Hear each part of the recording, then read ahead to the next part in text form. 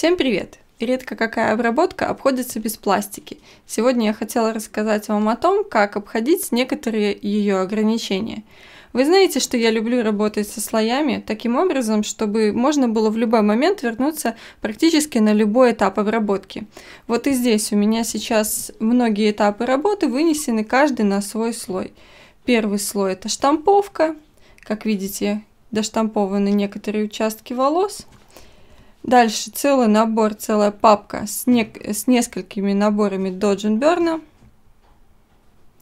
Правка сумки, отрисовка кое-каких незначительных цветовых акцентов. Сложная маска, которая выглядит вот так, делалась через каналы для того, чтобы нарисовать градиент на фоне, по-моему, так веселее.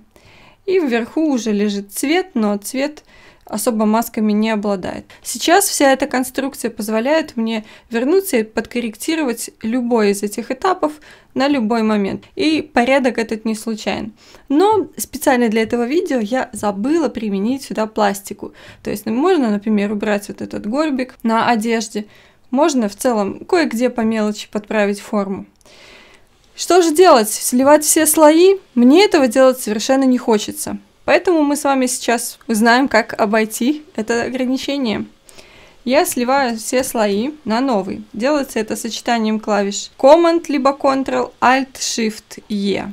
И применяю пластику, как обычно, так как я бы это делала, если бы просто решила слить слои.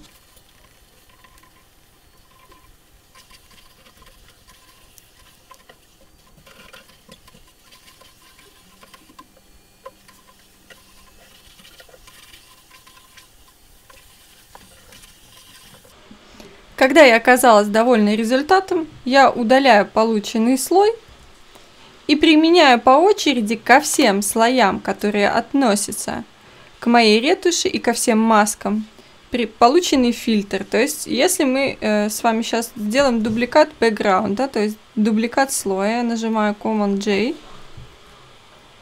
и после этого нажимаю э, Ctrl либо Command-F, он применяет то, что мы сделали в Liquify, к нашему слою. Ctrl либо Command F ко всем слоям, которые имеют отношение к нашей фотографии, а также ко всем маскам. Случайно только не сделайте два раза, иначе будет печаль беда. Я становлюсь на маске Додженбернов и на каждую по отдельности.